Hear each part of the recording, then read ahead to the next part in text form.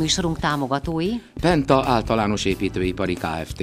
Protech Fejlesztő Kft. Kaloterm építészeti és épületgépészeti ZRT. VLG Kábelkereskedelm Kft. Ibl tervezőiroda. Műsorunk média partnere A Sport Plus.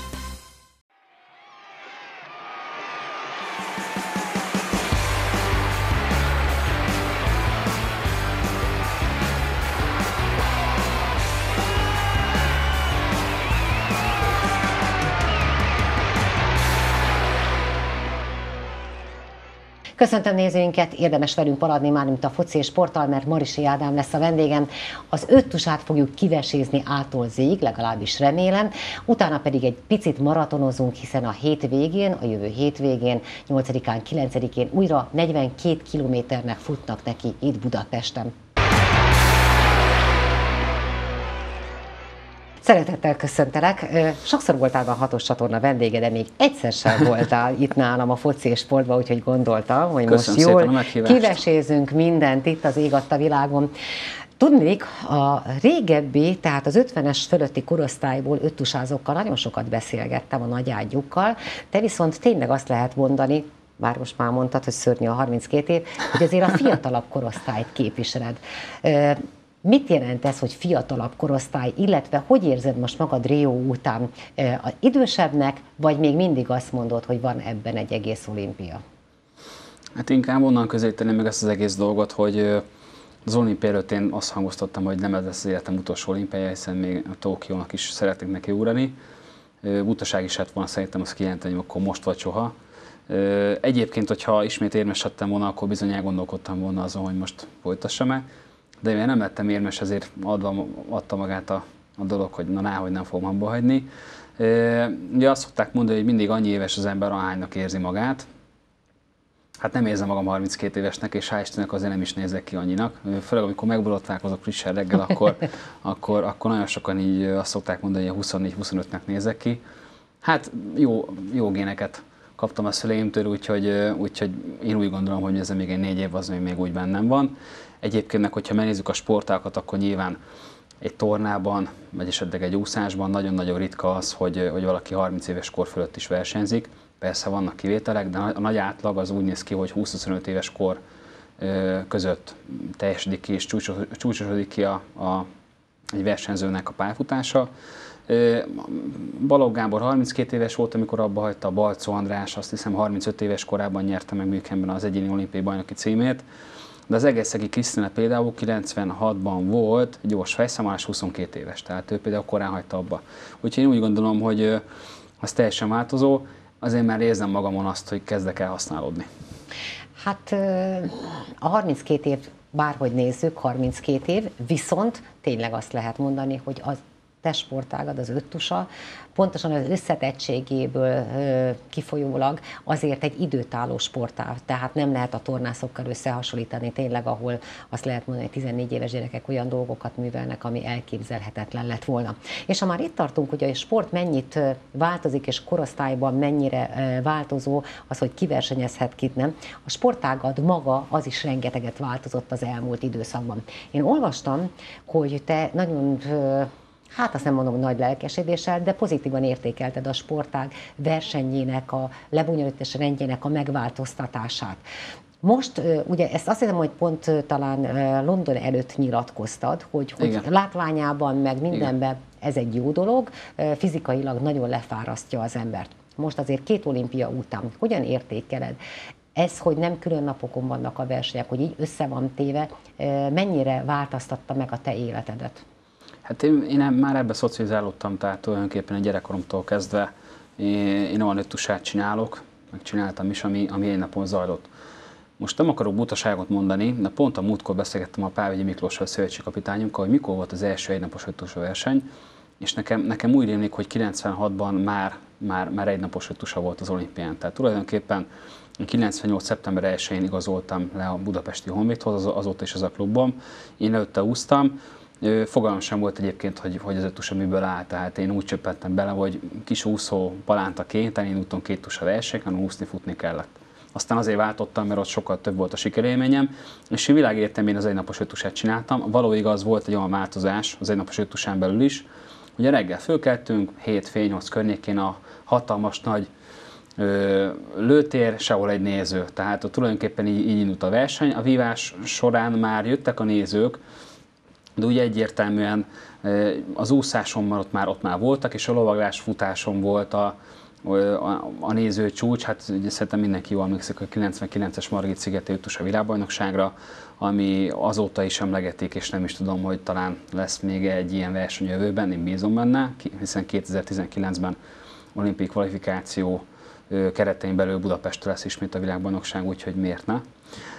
De egyébként, hogy, hogy ne legyen ennyire érdektelen a nézők szempontjából a lövészet, illetve a futás. Mert a futásnál azért ki lehetett számolni, ki milyen futó. Ott nem igazán volt már nagy meglepetés a verseny végén, ezért úgy gondolták, hogy összevonják a lövészetet a, a futással, és ö, ebből az adódott, hogy tulajdonképpen minden egyes verseny annyira izgalmas, belül én ezt nem érzem, akárhány öttusa verseny megnézek kívülállóként, esetleg a helyszínen vagy a tévében, hát lerágom mind a tíz körömet. Igen. És akárki kijön egy öttusa versenyre, mindenki azt mondja, hogy úristen, ez mennyire jó, és miért nem közvetítik, és miért nem megyünk többet, és miért is több verseny. Uh-huh. Tehát tényleg eddig kivétel nélkül bárki, aki, aki látott egy öttusa verseny, mindenki, mindenki ezt akarja. Na most ugye négy darab 800 métert kell futni, közben van a lövészet, ötször el kell találni 10 méterről egy körülbelül 6,5-7 cm átmérőjű fekete kört.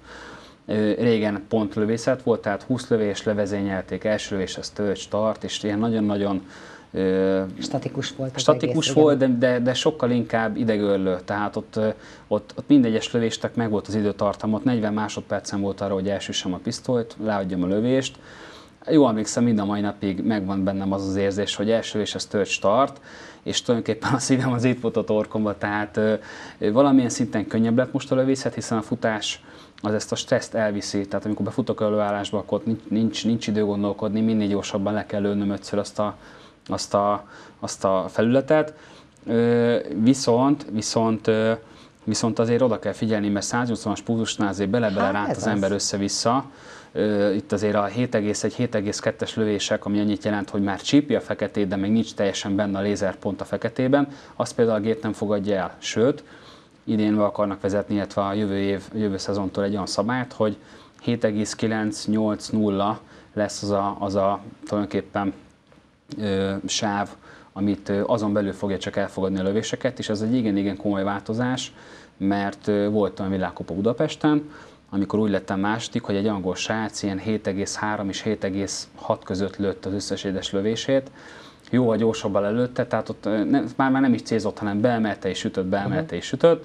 Én meg, én meg szépen komótosan lőttem, sokkal jobbakat, sokkal jobb lövéseket, viszont időben ő sokkal gyorsabban teljesített a lövészetet, tehát és ezzel még azt ki. is mérlegelni kell, hogy pontosabban lövök, tehát jobb eredményt érek el, vagy pedig az időt az időt hát veszem figyelembe. Igen, kell. Hát, igen. Ugye ez is érdekes dolog, mert a most 22-23-24 éves öttusázók megint csak ebbe csöppentek bele. Ez a szabály 2009. január 1 óta él. Ez a tulajdonképpen ez a kombinált versenyszám. Hát ez már hetedik éve van, tehát hogyha most 24 évesek, akkor 17 éves korban, amikor már akkor már el kell kezdeni a lövészetet, de nincs annyira, nincs akkor a lövőmúlt valaki mögött, mint ami mögöttem volt. Tehát én, én abban nőttem bele, hogy szépen statikusan beállok, odafigyelek minden egyes lövésre, föntről lefele engedem be a kezemet. Most úgy néz ki ez a történet, hogy alulról föl, megállítom, nem megy tovább. Tehát aki lőtt, és aki mm. tudja a lövészetnek a, a metodikáját, az pontosan érti azt, hogy ugye úgy kellene, hogy beszírom a levegőt, és beemelem, és akkor kicsit kiengedem, marad egy, marad egy kis levegőt időbe, ezzel stabilizálom? Ezzel stabilizálom tulajdonképpen a, a, a légzéssel itt meg. Hát ugye 180 pulzusnál éppen, hogy Igen. kapok levegőt, és most már itt arra sincs idő, hogy a lőállás előtt egy 5-6 méter kocogjak, vagy esetleg sétáljak is ezzel pár mély levegőt véve, jó erősen kifújva a, a levegőt, a használt levegőt, lecsillapítsam a kicsit a pulzusomat. Aki látta az olimpiát most Rióban, én is a szemem sarkából láttam, nem arra figyeltem, de, de ezt nem volt nehéz nem észrevenni, hogy mellettem az ausztrál srác, akinek egyébként a testvére megnyerte a lányoknál az egyéni versenyt, besprintelt, ugyanabban a sebességben futott be a lőállásba, mint ahogy futott a 800 méter közben. Ott nem volt tutyimutyizás, tehát beemelte, sütötte, beemelte, sütötte, és más sprintelt kifelé. És a világ az erre fele fog menni, e felé fog tendálni, hogy itt koppanásig kell futni nagyon-nagyon-nagyon emberpróbáló, tehát itt, itt 3200 méter és van közte 800 méterenként 10-12 másodperc pihenő. Hát közben lövök. Úgyhogy nem is annyira pihenő, koncentrálni közben koncentrálni. Kell. Igen. Úgyhogy, őrület. úgyhogy, úgyhogy, úgyhogy őrület is, és tényleg is földgyús. És ugye alapból a világról azt mondják, hogy az internet és a média tényleg egy földgyorsult világban élünk, a sport ez hatványozottan igaz. Ha megnézzük a, az úszó eredményeket, én most 2-0-1 66 század másodpercet úsztam, ezzel az úszó idővel 10 évvel ezelőtt bármelyik öttusa verseny, bármelyik versenyszámát, úszó versenyszámát megnyertem volna, most voltam ezek 9 2.05-ön belül 29 versenyző úszott. Tehát annyira, annyira ö, főzárkozott a közép, illetve a hátsó része a mezőnynek, annyira űridőket futunk és űridőket úszunk, hogy, hogy én nem tudom, mi lesz a vége. Tehát itt ugye megnézzük az úszókat, hogy mit művelnek a úszókat, is például, hát én nem tudom már hol lehet fejlődni. Tényleg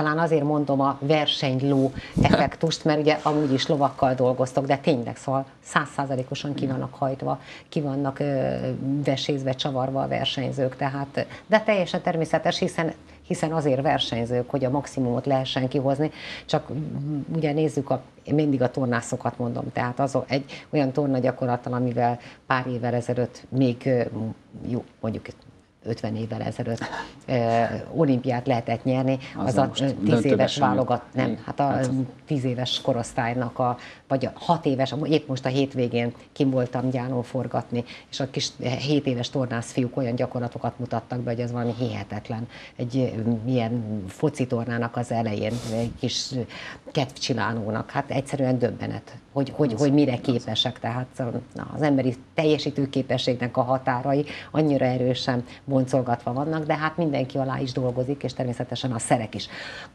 Jut eszembe szerek. Öttusában hogyan tudnak változni a szerek, hiszen a tornában tudjuk, hogy a szőnyeg, a felemás korlát, stb. Ó, teljes, teljesen másra értettem az első pillanatban. nem, nem a, a kiegészítő szerekre gondolok, hanem, hanem az eszközök. Tehát azok mennyire segítik a sportágon belül az a fegyver, a kard, a, tehát bármi amivel dolgoztok, mennyire segítik a munkátokat, a futófelület? Hát el, el, elképesztő fejlődés van itt is, tehát és kaptam a szponzorom jó voltából, és egyébként a vívók is, a magyar vívók és a párbajtörőzők is olyan ruhát kaptak az egyik nagy sportszergyártó cégtől, ami vívással foglalkozik, hogy annyira könnyű volt a vívóruha, hogy, hogy egyszerűen attól függetlenül most nem ment benne a vívás, de egyébként, egyébként mit, hogyha nem is lenne rajta a vívóruha. A vívóruháról azt kell elképzelni egyébként, vagy azt kell tudni, hogy, hogy 800 Nm bír ki, tehát hogyha, hogyha engem egy 80 kilós 80 kilós szúrás ér, még akkor sem szakad át tulajdonképpen ruhám, azért ez azért eléggé, eléggé biztonságos. Eléggé biztonságos. É, azt feltételezi, hogy ennek az agynak nagyon-nagyon vastagnak, nagyon nehéznek kell lenni, már már posztószerűnek. Igen. És ez meg is van egyébként, csak tényleg annyira, annyira könnyű, mint a gyűrűk urában, az a, amit a Frodo kap a, a, a bácsikájától, hogy, hogy, hogy, hogy gyémánt, de mégis iszonyatosan könnyű, könnyű. és nagyon-nagyon erős, és átadóhatatlan, tehát elképesztő uh-huh. technikai újítások vannak, de hát ide vertem a futócipőket, ugye olyan szöges cipők vannak, olyan, olyan futócipők vannak, hogy két deka az egész. Ide vertem az úszóruhákat is, ugye 2008-ban az olimpián voltak az úgynevezett csodadresszek, a cápadresszek, amiket aztán, amiket aztán betiltottak. Mert Te tényleg, benne? Én nem úsztam benne. Nagyon érdekes, hogy, hogy én mindig a másoknak így a levetett, kinőtt, elhasznált gúnyáját hordtam.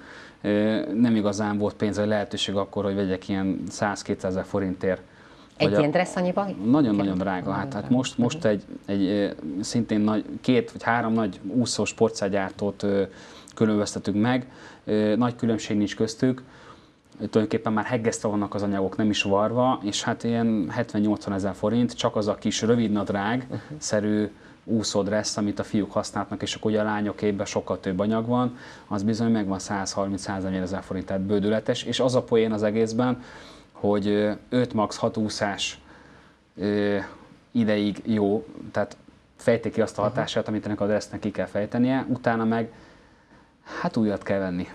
Úgyhogy, ezeket kapod meg te? Ezeket kaptam meg régen.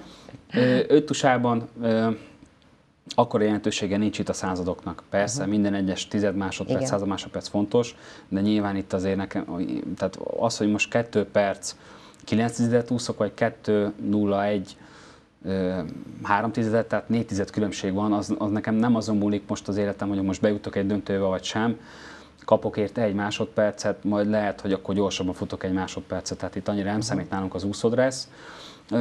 Ami nagyon lényeges még számomra, az egy saját lovasnyereg, tehát egy, egy jó minőségű, jó kiképzett nyereg, én úgy gondolom az elengedhetetlen. Egyébként nagyon sok nemzet volt, aki hozta az olimpiára saját nyergét. Hát ezek is egy milliós nyergek, tehát 900 ezer forint, 1 millió, 1, 1 millió 200 ezer forint. Az oroszok, a franciák, ők nagyon megengedhetik maguknak, hogy ezek a nyergekkel akár virágkupára is utaznak. Igen. Én csak akkor versenyzek itt van ebben a nyerekbe, hogyha, hogyha, hát hogyha Magyarországon van verseny.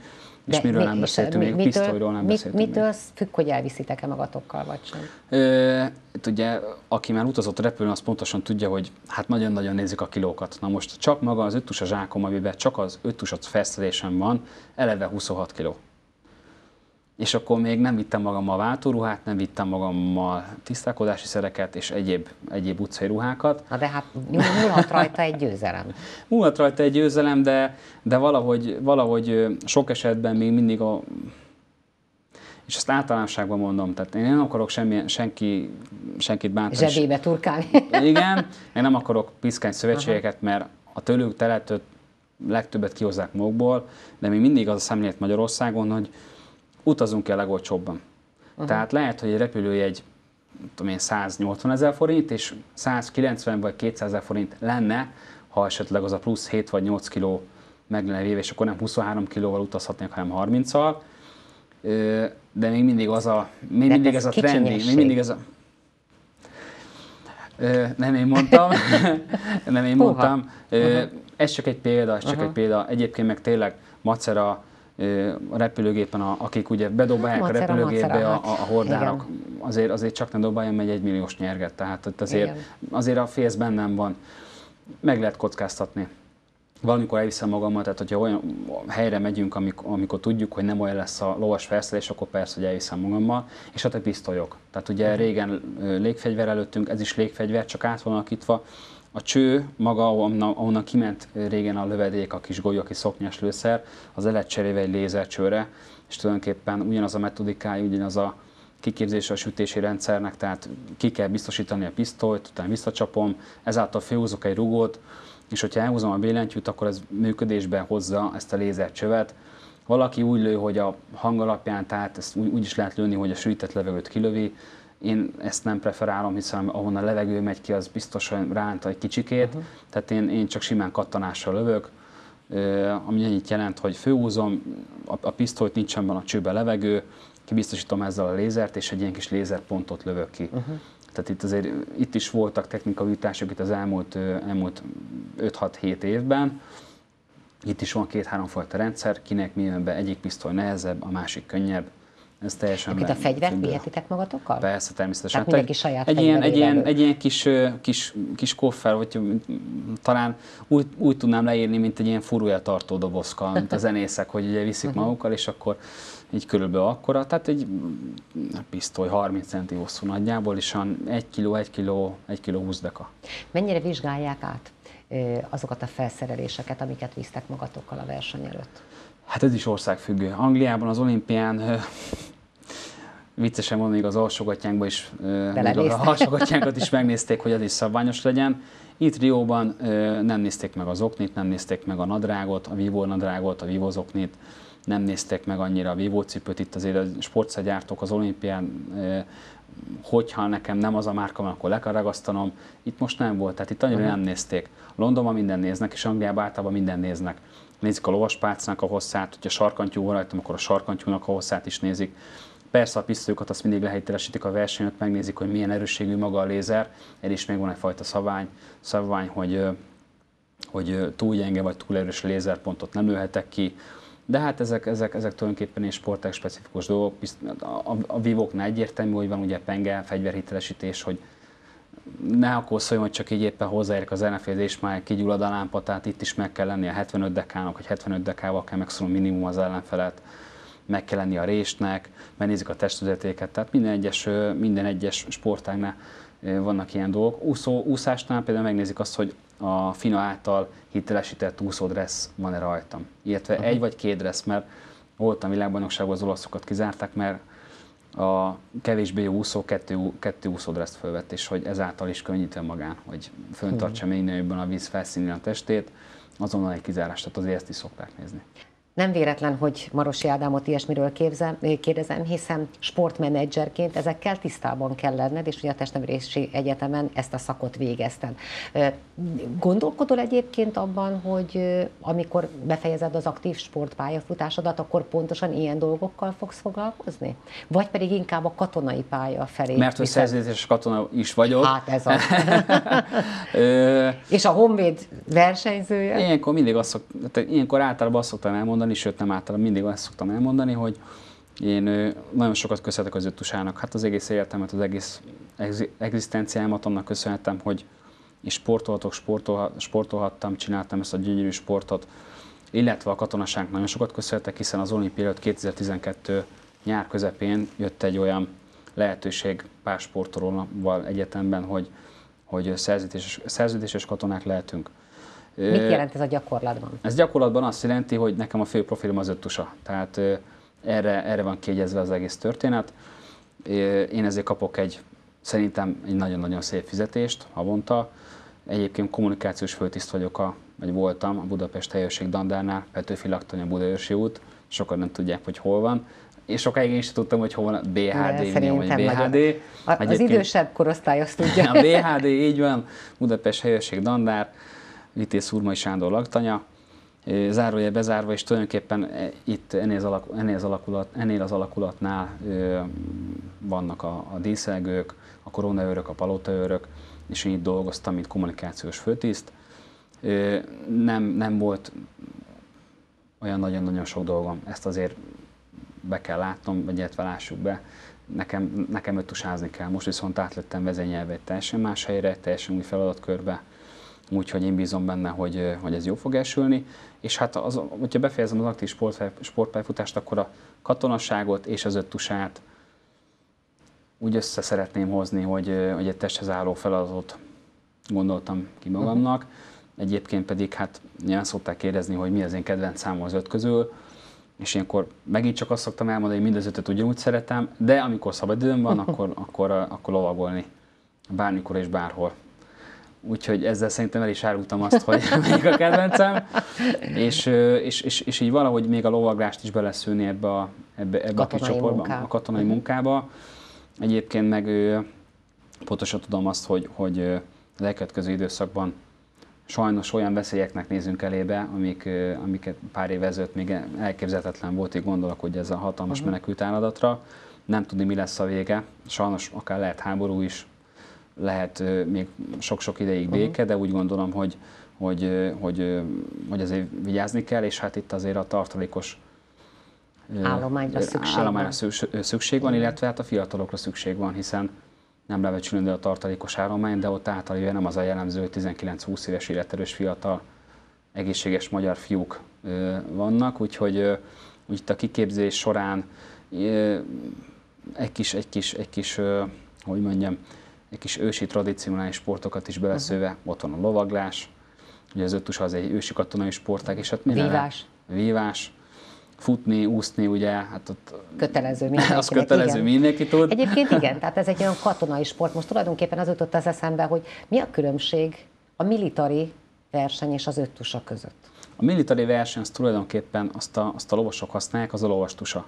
Az egy háromnapos versenyt jelent, egy ugyanazon lóval, az első nap van, ha jól tudom, egy díjlóvaglás része, tehát amikor mennek a díjlovas négyszögbe és különböző gyakorlatokat hajtanak végre, azt megmutatva, hogy mennyire van befolyás alatt a ló, mennyire van a lovasnak a befolyás alatt a ló, oldaljárás, és úgy kell ügetni, és úgy kell mhm. vágtázni, és olyan elegáns, cilinderes felszerelésben vannak a lovasok. A második nap van egy a legkeményebb része talán a tereplovaglás, amikor fix akadályokat, fix 120 cm magas sövényt, farönköt és egyéb őrültségeket ugratnak meg a lóval, és a harmadik nap pedig van egy szintén 120 cm-es parkour, ami annyit jelent, hogy D-ugrató pálya, az, az van az öttusában, és egyébként 15 erőkifejtés, 12 darab akadály, tehát a 12 akadály, az én nem 15 erőkifejtés, mert az akadályba beleszámít a kettes és a hármas ugrás is. És azért a harmadik napra, a harmadik nap végére a lovak az eléggé elhasználnak és elfáradnak. Ez maga a militári versenyszám, a militári sport, Régen a katonai ötusa azért azért teljesen másról szólt, uh-huh. most. Tehát ez a, azért modern pentatlon, mert ugye hát a, nem az van benne, hogy csüllökés és birkózás és mit tudom én, mint az ókori öttusában. Ez a modern katonai öttusa. Erre is van egyébként legenda, hogy, hogy, egy, hogy, egy, hogy egy nagyon fontos feladattal bíztak meg egy katonát, vigyen el A-ból B-be egy üzenetet, és akkor lóháton ment, kilőtték a lovát alóla, utána futott, futott, pisztolypárbaj, átúszott egy folyón, vagy egy, vagy, vagy, egy tó, vagy egy tavon át kellett úsznia, és akkor ott megint beérték, akkor meg kellett vinni az ellen, ellenfél, és úgy vitte el tulajdonképpen a mhm. célba a hírt, hogy megmenekült, és ez öttusának van egy régi ősi legendája de szép legenda. És egyébként az ötus az egy nagyon férfias sport, és egy, egy katonás sport, tehát egy olyan pas is. Valljuk meg egészen ilyenkor, őszintén. Ilyenkor az, a régebbi ötusázók szokták azt mondani, hogy hát tulajdonképpen akkor jogos a, fej, jogos a kérés, hogy a nők mit keresnek itt. 2000, Jó, hát a... 2000 óta van az ötusán, Igen. vagy az olimpiai programon női ötusa. És nagyon eredményesek is voltunk benne. Igen, igen, és szívósak a csajok, meg igen. kell mondjam. Tehát szívós, vagány, hogy, hogy jellemezem, csinosak, szépek, okosak, természetesen. kemény és, nők. És kemény nők, kemény igen. Nők, tehát, igen. tehát itt kicsit egy a, közi, a kézilabdához tudnám hasonlítani. Azért, azért a kézilabda sem a úri kisasszonyoknak a, biztos, a sportja, igen. ott azért szakadnak a izületek, a porcok válnak le sorra egymásról. Az öttusa is egy kemény, kemény, kemény sportág. Visszatérünk a gyerekkorodra, hiszen ugye ö, rengeteget jársz most közönségtalálkozókra. Régebben is, mostanában is különböző helyekre meghívnak, gondolom, azt gondolom, hogy London után mint hőst ünnepeltek, most pedig szerintem épp olyan hős vagy, most teljesen mindegy, hogy ez most éppen nem jött össze, és egyébként most a közösség találkozókról is majd kérdezek, de eszembe jutott egy sokkal izgalmasabb a sport szempontjából, hogy mindig azt nézem, hogy a hihetetlen különbségek vannak az eredmények között. Tehát a 30. hely, a 18, a mit tudom, 24, most jól jövök most. Tehát egyszerűen az én fejemben, amikor néztem most a versenyt, akkor ugye te mit tudom, 12 vagy 19, 16-ot győztél a vívásba, 19-et vesztettél, akkor utána lehetett számolgatni, akkor utána ennyi pontot szereztünk, akkor ebből még dobogó is lehet. Tehát egyszerűen egy olyan ö, olyan káosz az egésznek a kiszámolása, olyan esélylatolgatás, ö, hogy az valami döbbenetes. Ö, az, hogy aznap éppen hogy jön ki a lépés, az egy másik történet. Melyik az az a rész, amire a legnehezebb volt, vagy melyik volt az a rész, amire a legnehezebb volt neked koncentrálni? Tehát például nem értettük a vívásnál, hogy, uh-huh. hogy, hogy mi történt ott, hogy megint hát nem jött össze, megint nem jön össze. Illetve hát úgy így utólag azt kell mondjam, azért értettem, hogy most már értem, mi Visszanézted a felvételeidet? Ö, nem néztem vissza. Miért? Nem néztem vissza, nem mert, mert egyrészt mi nincs fönn a, a videó megosztó portálon, oh, mert egyébként a kiemelt, tehát az öttusának a vívás része azért volt külön napon, mert ezzel is fel akarták gyorsítani magát az öttusát, és az a létrevívás, a bónuszvívás, ami az öttusának a napján volt, sok vizet nem zavart. Tehát tulajdonképpen egy kialakult egy rangsor csütörtökön, mindenki elkapta a kis pontszámát, és a kialakult rangsor alapján volt egy ilyen létrevívás, az utolsó jót az utolsó előttivel, annak a győztese a 34-kel, annak a győztese a 33-kal, és tulajdonképpen így a vívás részét lepörgették 45-50 perc alatt az öttusának a napján. Nagyon-nagyon fontos volt előtte lévő, előtte lévő két nap a körvívás. Tehát azt kell képzelni, mindenki mindenkivel egy perc a Igen. lehetőség, egy találat kiszoláltása. Vagy, vagy, vagy nyenek, vagy vesztek, Igen. hogyha nincs találat, akkor kettős feleség mind a ketten kikapunk. Nem lehet az összes pástot közvetíteni, és éppen ezért találták azt ki, már évek óta ez van, hogy van egy bizonyos kiemelt pást, és értemszerűen kiemelt páston ugye megyünk egy kört oda, megyünk egy kört vissza, négyszer fogok szerepelni a kiemelt páston. A négy asszommal egyébként a kiemelt pástot nézem, akkor hármat nyertem, egyszer Igen. kikaptam. Ezt sajnos még nem találtam meg. Más egyébként a kiemelt páston Én szeretem, én szeretem a kiemelt Aha. pástot. Tehát sokáig küzdöttem. Más a motiváció. Küzdöttem ezzel, hogy, hogy nem, én utálom, hogyha néznek, én nem szeretem, hogyha néznek, hát imádom, hogyha néznek. Tehát szeretek szerepelni, szeretek beszélni mások előtt, nagy közönség előtt Sokáig úgy volt egyébként fiatalabb koromban, amikor még ilyen tini voltam, meg utánpótlás a korú, hogy rettegtem ezektől a dolgoktól, aztán szépen lassan elkezdtem megszeretni. Ez a bizonyos eset, hogy itt a hamupipőkébe, hogy tanult meg szeretni a macskát. Ugye, ugye ezt mondja, ezt mondja a hamupipőke a, a kutyának, és az, az, életnek, az élet minden területén ez így van, hogyha valamit nem szeretek, hát az agyba ott át kell kapcsolni, hogy szeresd meg, nézd meg benne, hogy mi a jó, és nekem ugyanígy volt a szereplése, és ugyanígy van a kiemelt pástamoló vívással. Volt olyan verseny, hogy vívtam ott 10 darab basszót, váltóverseny, döntő, előtte selejtező, egyszer se kaptam ki, mindig nyertem, tehát uh-huh. 12-szer nyertem, nulla vereség volt mellette, és visszatérve az olimpiai, mi történt a vívásban, az történt, hogy nagyon nyerni akartam. És én egy olyan pali vagyok, aki, aki, akinek ez a túlzott akarás átmegy egyfajta negatív dologba, olyan szinten görcsösé tesz, hogy, hogy bárki, aki látta az én vívásomat, a Kémelt Páston is, hogy mindenki mondta, hogy Ádikám, hogy le, az arcra volt írva, hogy iszonyatosan feszült vagy. Uh-huh. És, és, én ezt, és én ezt belül nem érzem, én belül én, én azt mondom, hogy jó, akkor gyerünk, most mindent megteszek, és eszetlenül megyek előre, nem érzem a távolságot, messziről elindítok egy olyan akciót, hogy az ellenfél kivéd és megszúr, vagy, vagy esetleg csak főszól, kinyújtja a karját, én meg belerohanok. Tehát ilyen, ilyen abszolút amatőr hibákat vétettem. Mindezt azért, mert mindent meg akartam tenni, nyerni akartam, és lehet, hogy nem kellett volna mindent megtennem, és nem kellett volna nyerni akarnom annyira. Én magyarosan hát megfogalmazva. Nem, igen, igen, igen, tehát, uh-huh. tehát, tehát a vívás az egy olyan dolog, hogy de itt megint csak azt kell mondjam, hogy az életnek minden területén igaz, ha valaki görcsösen akar valamit, és nagyon-nagyon akarja, azt tudni nem fog összejönni. Tehát ezt az egészet el kell engedni, és ez a legnehezebb az ésportban, hogy, hogy úgy akarni, hogy lazán, de mégis koncentrálva, de mégis hidegfejje, de mégis forró szívvel. Élvezni kell?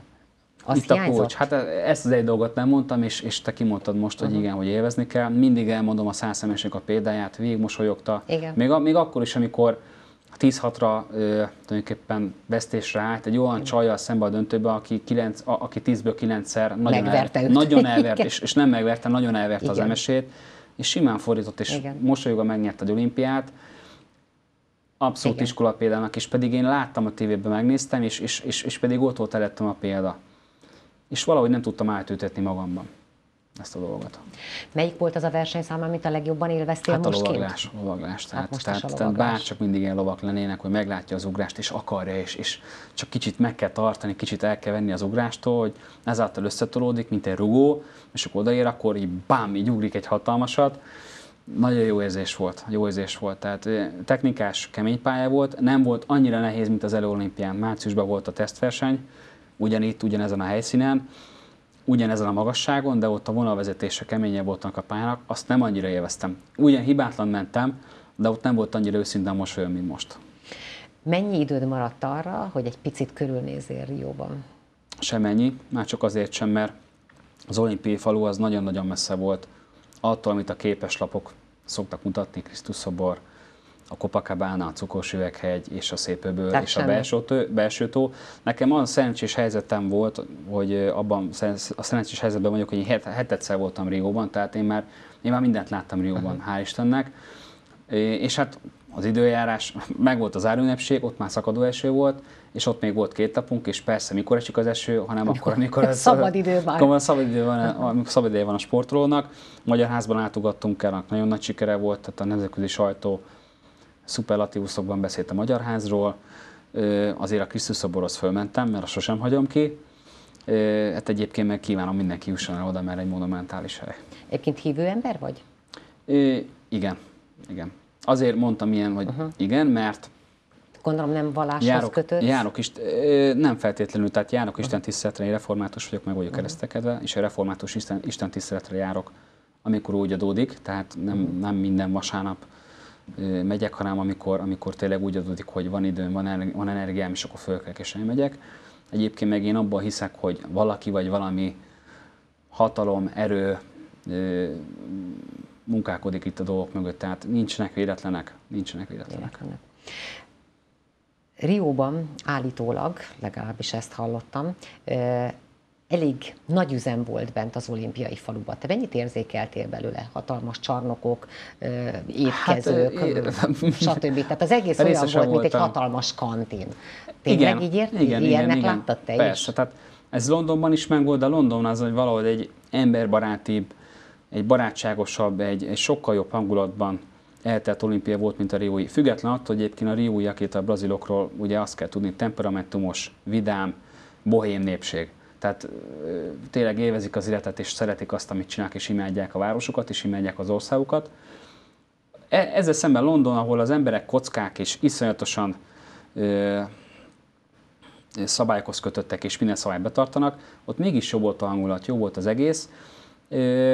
Visszatérve egyébként az olimpiai falura, tényleg egy hatalmas kantint kell elképzelni, mint hogyha négy vagy öt futballpályát egymás mellé rakok, és hogy végig tulajdonképpen székek és, és, és a világnak a különböző konyhái, de, de, de ez is olyan kicsi stílustalan volt Londonban, ennek is még megvolt a módja, uh-huh. hogy úgy jobban el voltak szeparálódva ezek a konyhák, itt még így egy sorba végig, amelyek a szemellát, afrikai, indiai, európai, brazil, olasz konyhák tömkelege.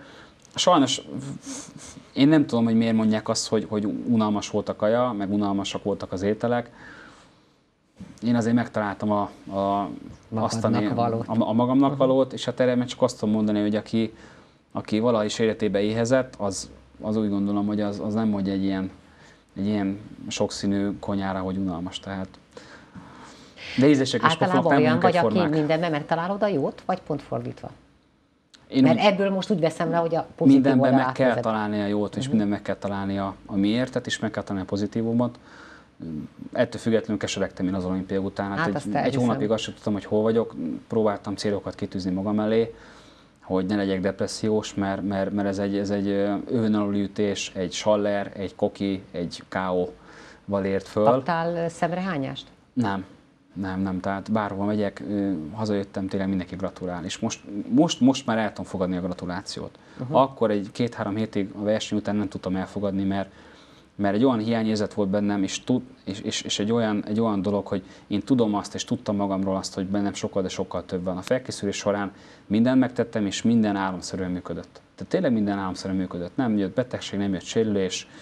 Olyan edzéseket csináltam, aminek soha életemben, ott tényleg olyan formában voltam, és mégis az első 13 darab asszó, rögtön az elején, a nulladik vagy a mínusz egyedik napon a Sziget Fesztiválon elmosta az egészet, és onnantól kezdve ugye az, az van az embernek az agyában, és hát másfél nap, másfél-két napon volt arra, hogy ott kattogtam otthon egyedül a szobában, hogy, hogy ebből még lehet érem, vagy lehet jó szereplés, ha nem hibázok, ha az ellenfelek hibáznak. És még így is még, még mindig megvolt a szansz arra, hogy a dobogó közel uh-huh. végezzek, mondjuk az első hat helyezésben. Nyilván az aranyérem az első két hely az valljuk be őszintén az elúszott, de még egy bronzérem, a negyedik vagy ötödik hely még, még mindig benne volt a kalapba.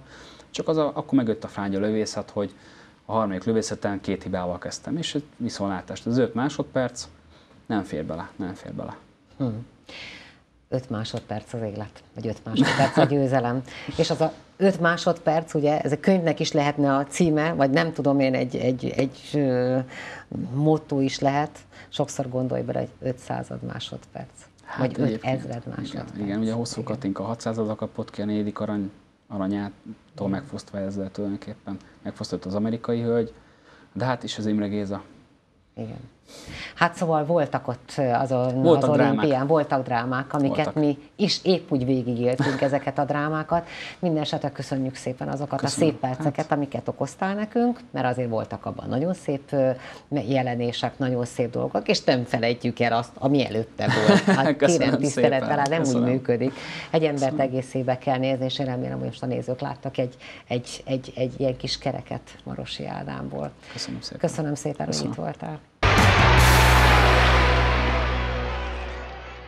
Kedves nézőink, akik Budapesten laknak, megszokhatták, hogy a hétvégeken jóformán a város használhatatlan. Most az elkövetkezendő hétvégén is így lesz ez, hiszen 8-án, 9-én megint megrendezésre kerül a Budapest Maraton. Ebben az esetben, ebben az évben is a Spár lesz a névadó szponzor. Tisztelettel köszöntöm szakértőnket, Mát István, az egyik főszervezőt. Így van. Hát azt gondolom, hogy a maratonért talán az emberek nem annyira bojdulnak föl, mint egyébként. Mi a tapasztalása az elmúlt évekre, hogyha visszanéz, akkor hogyan állnak a, a budapesti lakosok a maratonhoz?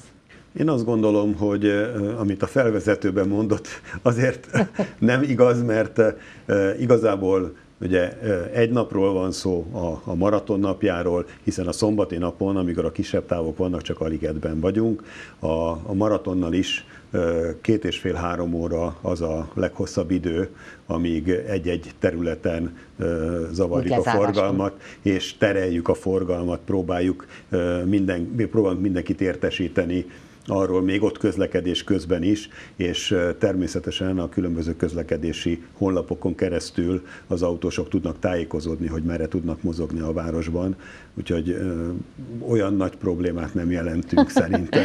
Ettől függetlenül azt gondolom, hogy nagyon sok embert megmozdít ez a rendezvény, hiszen az elmúlt évben is 28 ezeren vettek Igen, részt a maratonon, ami egy döbbenetesen nagy szám, és most láttam az előbb a kezében egy táblázatot, egy, egy grafikont, egy körgrafikont, Igen. amiben megdöbbentem, hogy hány országból is neveznek erre a versenyre. Igen, több mint 70 országból jönnek, és hát már most is közel két és fél ezeren jelentkeztek, ami azt jelenti, hogy a városban ilyenkor 10-12 ezer külföldi mozog, hiszen egy sportolóval másfél-két kísérő is jön, akik, akik itt vannak és buzdítják a, a résztvevőket, de nagyon jó hangulatot teremtenek az útvonal mellett. Mi egyébként az útvonalon zenés pontokkal is segítünk, több mint 20 helyen lesznek olyan pontok, többek között az operaház kórusa, az operett színháznak az egész karakint lesz, és buzdítják, hiszen az operaházból is nagyon sokan futnak, az operett színházból is,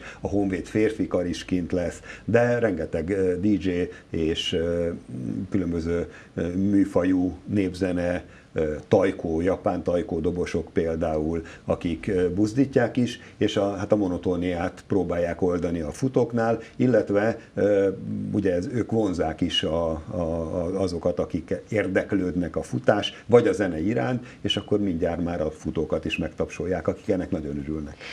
Egy pár évvel ezelőtt az egyik ilyen maratonversenynek mind a rajtjánál, mind a céljánál, befutónál ott voltam. Sőt, hát ugye útközben is szoktunk menni és csemegézni a különböző helyszíneken, és hihetetlen érdekes, hogy tényleg mindenkit arra buzdítok vidékről is mindenhonnan, hogy jöjjenek fel erre a napra, mert egy kicsit más, mint a szokásos fesztiválok, bár van az egésznek egy fesztivál hangulata. Gondolom most is a Hősök teréről lesz, a, vagy a, hát a Dózsa György út, igen, arról a részre, a felvonulási térről Olof Palme sétány torkolatából a műjégpálya előtt van minden futamnak a rajtja, és a cél pedig az 56-osok terén. terén. Igen. Hát e- elképesztő, hogy milyen látványosság, és hogy mennyire, mennyire együtt él a közönség Igen, a szurkolótábor ilyenkor ez, a futókkal. Ez egy, ez egy olyan magával ragadó hangulatot jelent, és nem csak, nem csak a futóknak, hanem a, hanem a nézőknek Igen. is. Aki eljön egy, egyszer egy, egy rajtot megnéz, vagy megnézi a célba érkezéseket, mindenki örül. Ugye 42 kilométer minden nyűgével a maratonon a lábába, de 30 kilométert is futnak, váltóba is lehet indulni, lesz egy 10 kilométeres táv is, és a, az előző napon, szombaton, 8-án pedig lesz családi futás, 600 méteres családi futás, ahol több mint 3000-en indulnak családok, kisgyerekekkel, azok, akik Meddig másnap... lehet egyébként nevezni ezekre a mm, különböző egész az, utolsó, egész az utolsó napig. Tehát a, a versenyközpont az csütörtöktől van nyitva az 56-osok terén, nagy ö, uh-huh. sátorban, és jöhetnek folyamatosan, és ami még érdekes, esetleg aki nem volt ilyen versenyen, az, az nem tudhatja, hogy a maraton előtti nap délutánján egy tésztapartit is tartunk, ahová meghívjuk a, a maratonistákat, illetve a 30 kilométeres futókat, és hát segítünk egy kicsit a szénhidrát háztartásukat, igen, a szénhidrát tartalékokat jobban a, a, a szervezetbe építeni. Tésztát mondja nekem mindig a mezei hát úr, a mint a szövetségi kapitány, igen. az jut az eszembe, hogy De nem. azért nem győztek a fiúk, mert tésztát ettek, úgyhogy De na nem, mindegy. nem, nem, nem, hát ugye ennek van egy rituáléja, és ez, ez nem csak azért nem csak a szénhidrát háztartás miatt, természetesen ez is egy nagyon fontos dolog, hanem azért is, mert ott összejönnek, találkoznak, beszélgetnek élményekről, és ugye ebből a 80 országból érkezett futók is ott, ott találkoznak és, és elmondják. Nagyon sok embernek, több százezer, másfél millió embernek az a hobbija, hogy különböző országokban fussa le. Ez a futóturizmus a, Igen, hát ez a futóturizmus, hát ugye tudjuk a, a nagy New York, London, Párizs, de említhetnénk a környező országok Bécs, Prága, és ebbe a sorba Budapest az nagyon is előkelő helyen van, sőt, hát sokszor volt már szavazás arról, hogy a, a, az útvonal hol a legszebb, és a, a, a Budapest az mindig az élen van. Tehát nagyon szeretik a futók, a díszlet, ugye igen. az egy, az egy csodálatos, szép díszlet, környezet, igen. a valós díszlet, igen. Tehát mi próbálunk is az útvonalon mindent megmutatni, minden lehető szépséget a, a fővárosba jövő nem csak külföldi, hanem az ezer magyarországi településről idejövő futóturistáknak. Hány magyar nevezett eddig akkor?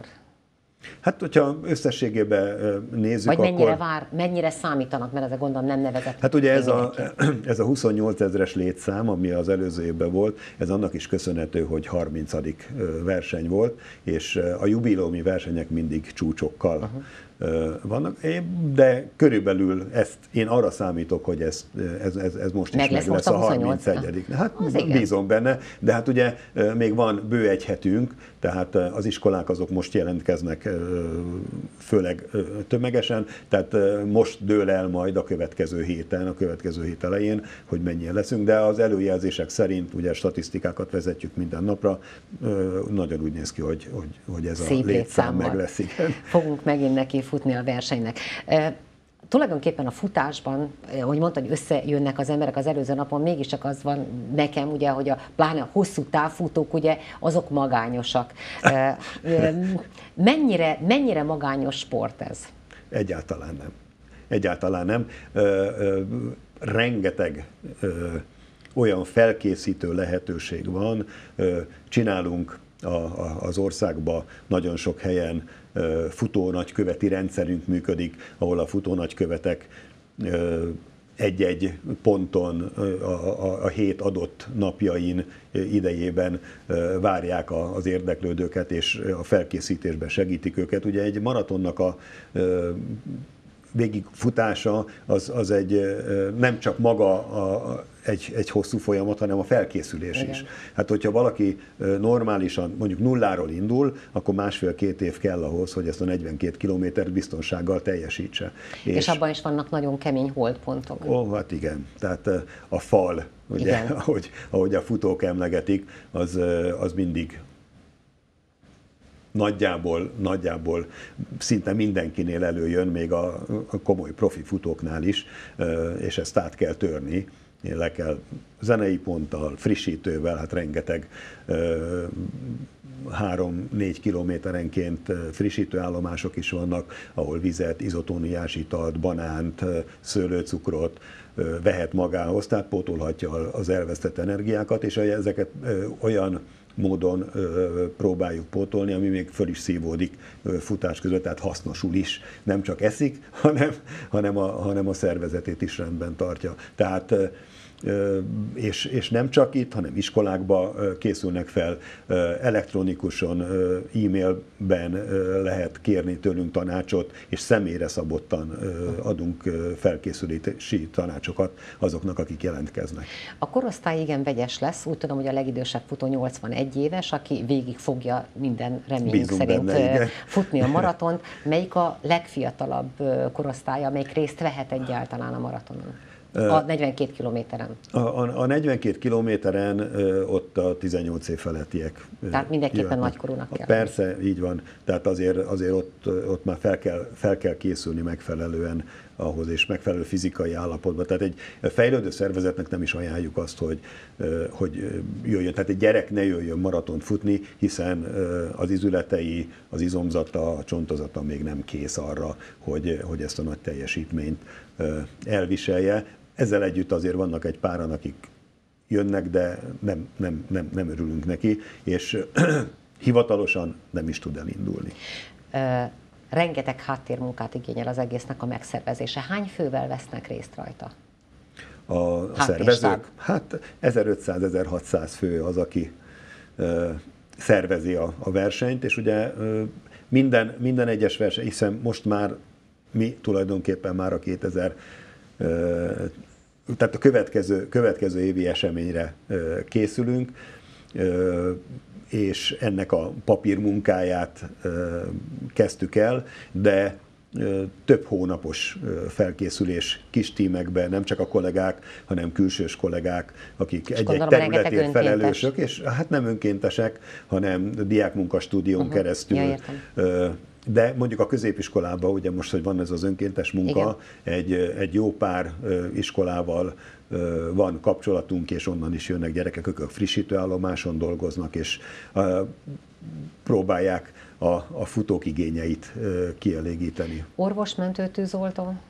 Hát természetesen ilyenkor óriási stábbal vonulnak fel, és két mobil ambulanciát is felépítünk a célban és a cél közelében, illetve minden frissítőállomáson van egészségügyi személyzet, aki ha kell, akkor segít, gyúrókat is biztosítunk, tehát hogyha valakinek görcsöl a lába, akkor azért ne kelljen feladni, vagy ne kelljen felszállni a záróbuszra, vagy, vagy ne kelljen a, a, a mentőbe kerülnie szegénynek, Igen. hanem akkor a gyúró azért tud segíteni helyben és hát ez, ez, ez, ez, ez is egy ilyen 30-40 fős stáb, akik komoly felkészültséggel vannak, és, és arra figyelnek, hogy mindenki rendben, egészségben teljesíteni tudja.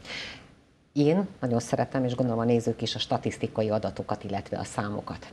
Melyik volt a legjobb idő eddig, a legnagyobb sztár, aki részt vett a maratonversenyen Budapesten? Ebbe én gyenge vagyok.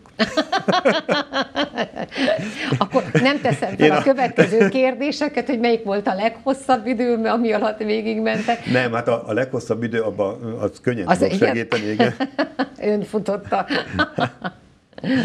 nem, nem, hanem, hanem ugye meg, meghatározzuk azt, hogy milyen tempóba megy a záróbusz a mezőny után, hiszen azt se szeretnénk, hogy korlátlan ideig fenntartsuk a, hát a, a várost. És, igen, így van. Tehát de, de nem is a limit, limit idő, és, és nem is, nem is a, a legjobb idő az, ami, ami a célunk. Tehát mi nem azért szervezük ezt az eseményt, hogy, hogy 2 óra 20 percen belül fusson a férfi, 2 óra 40 percen belül fusson a nő, de, Arra de természetesen így van. de rájuk is figyelünk, mert egyben ez egy magyar bajnokság is. Tehát ez egyben a Magyar Atlétikai Szövetség Magyar Maratoni Futóbajnoksága, és egy olyan 200-250 atléta el is indul azért, hogy a, a, a bajnoki címért fusson, és, de ezen kívül ugye ott vannak több ezren, több mint 5000-en a maraton távon, akik teljesítsék. Nekünk a legutolsó futó is nagyon, nagyon fontos, hogy, hogy teljesíteni tudja. Egyébként négy és fél óra a, a szintidő, amilyen tempóba a záróbusz megy a mezőny után, tehát a rajthoz képest a négy és feledik órába be kell érni mindenkinek a célba. Azt gondolom, hogy a maratonfutás az elsősorban önmagunk legyőzését jelenti. Hát igen, igen, hát ez, ez, ez ennek a célja, hogy, hogy mindenki próbálja meg nem is mindig a legjobb idejét, hanem éppen az adott pillanatban az adott formájához képest a legjobbat nyújtani. Én minden évben, amikor itt akár a félmaraton, akár a maraton előtt riportot készítek illetékes szakemberekkel, akkor mindig elhatározom, hogy futni fogok innentől kezdve. Aztán, hogyha megnézzük az előző évi felvételeket, akkor azt nézem, hogy mindig itt egy kicsit több van, és én nem futottam, az ég adta világos, amit mikor érdemes nekiállni, egyáltalán futni? Kinek érdemes nekiállni, futni, mert ez az utolsó percünk, azért tényleg azt, mivel megnézzük a hivatalos kis meghívó kisfilmet itt zárszóként, hívjuk fel az emberek figyelmét, hogy futni jó. Abszolút. Tehát mindenki nyugodtan, bármikor, bármilyen testsúlyjal elkezdhet kocogni, elkezdhet futni. Nem az a cél, hogy a maratont fussa le, hanem az, hogy álljon föl, és mozogjon, és próbáljon meg egy kicsit szénhidrátmentesen táplálkozni, esetleg nem annyira cukros italokat fogyasztani, és, és akkor mindjárt jobban fogja érezni magát. Egy, egyébként ezen a rendezvényen is, ugye a 600 métertől egészen a két és fél kilométeren, 5 kilométeren, 10 kilométeren át a maratonig mindenki jöhet, mindenki részt vehet rajta, és aki most áll fel és egészséges felnőtt, az mondjuk a 2,7 kilométert nyugodtan teljesíteni tudja a szombati napon és hogy mennyire kedvet kapnak a futáshoz nem csak a sportolók, akik egész évben ezt csinálják, hanem azok az emberek is, akik a hétköznapi életben egészen mással foglalkoznak. Azért mindig vannak sztárjaink, és vannak meglepetéseink. Az, hogy Barok Zoltán miniszter úr fut, az már nem meglepetés. Én nekem meglepetés volt Novák Katalin államtitkárasszony, hogy Igen, ő is fut. Aki, egyébként... aki ráadásul maratont fut először, 42 éves és 42 kilométert lefutja. És egyébként Ez... van a 42 éveseknek egy 42-es jubileum is egyébként, ha jól, ha jól tudom, hogy erre is készül. Szóval minden elismerésem az államtitkár asszonyai, és egyébként pedig rengeteg a politikusokon kívül és sokan futnak, rengeteg színész, színész újságíró, sportoló. operaénekes, sportoló. Tehát azért is érdemes ellátogatni erre a versenyre, mert lehet látni, hogy a küzdeni akarás mindenkiben van futni, jó, és egy olyan napon lehetünk együtt, amikor nem a politikáról szól, hanem a sportról és az örömről és az összetartozásról az életünk. Köszönöm Igen. szépen. Köszönöm én is. Sok sikert kívánok. Balesetmentes maraton. Igen. Köszönöm. Kedves nézőink, önök pedig tekintsék meg most azt a kis filmet, amit a szervezők készítettek, én pedig elbúcsúzom.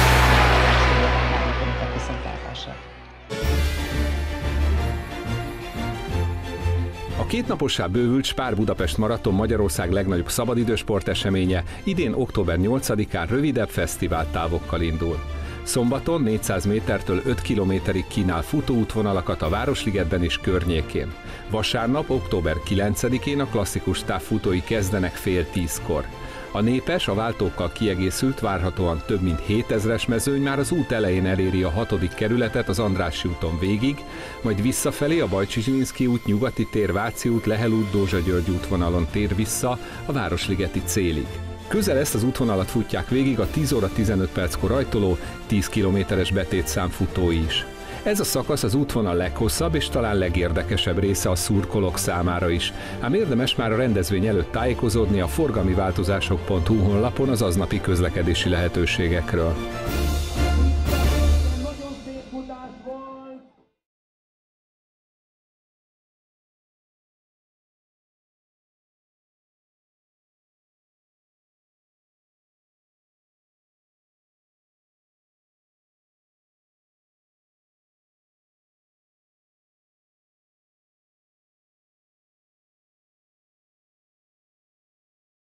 Műsorunk támogatói Penta általános építőipari Kft. Protech fejlesztő Kft. Kaloterm építészeti és épületgépészeti ZRT. VLG kábelkereskedelm Kft. Ébül tervezőiroda. Műsorunk média partnere a Sport Plus.